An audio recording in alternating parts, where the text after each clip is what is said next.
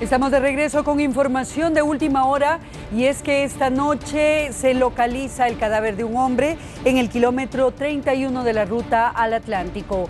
Nuestro corresponsal del Progreso, Amílcar Rodas, tiene los detalles de esta información. Amílcar, buenas noches, adelante con su reporte. Buenas noches, Corina. Nos encontramos sobre la carretera al Atlántico, aproximadamente a 100 metros de esta, donde bomberos voluntarios fueron alertados de una balacera. Pues, al llegar al lugar constataron que se encontraba el cuerpo de un hombre de aproximadamente 35 años de edad, pues este, ya fallecido, y ellos le pudieron eh, ver dos perforaciones de proyectil de arma de fuego.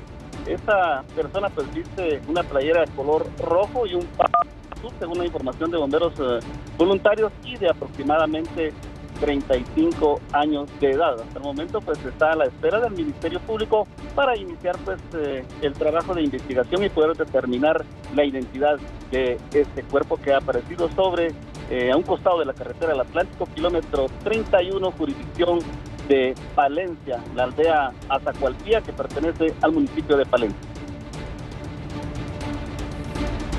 Muchísimas gracias a nuestro corresponsal Amilcar Rodas.